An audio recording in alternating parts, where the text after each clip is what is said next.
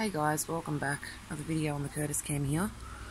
Um, the last video you actually saw, our convicts uh, babies were pretty much just laid.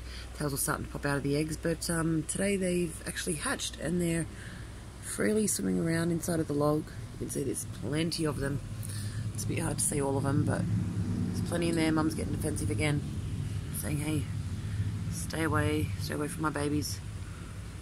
Yeah, these are the the black striped ones. This, these aren't the convicts. Uh, sorry, they, these aren't the albinos. These are actually just the plain black striped ones. We do have um, two sets of other breeding convicts and one of each of those pair is an albino. But yeah, you can see how many there are in there. They're swimming around. This is probably the biggest batch we have ever seen.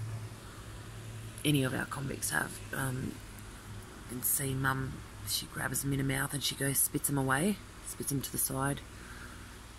Try to make sure they don't swim away from her. As you can see, she's sucking them in, sucking them into her mouth, and she's gonna go spit them over there, saying, "Hey, get over there." It's pretty cool to watch. Actually, they're very, very interesting to watch. Yeah, she's sucking them into her mouth and spitting them out over there. and I've also noticed just over here, this is our other pair of breeding convicts. We've got the convict, uh, the albino convict there. It's a bit hard to see in there. And we've got another black convict, but they're actually got um, eggs that they've just laid that have just actually slowly started to hatch, but it's a bit hard to see at the moment. They're hiding in there in that little corner. So we'll have some more on those once they've hatched and once we know what's going on.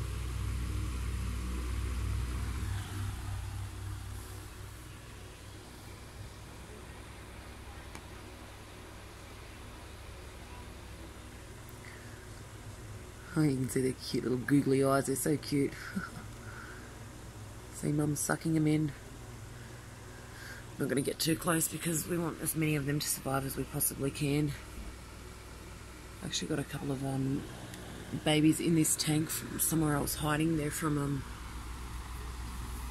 they're actually from a batch a couple of months ago and they're probably about a centimetre long. Getting around still in there. No one's touching them. They're not touching anything. So yeah. Alright guys, well don't forget to smash that like button, subscribe to the channel. I have heaps more videos coming.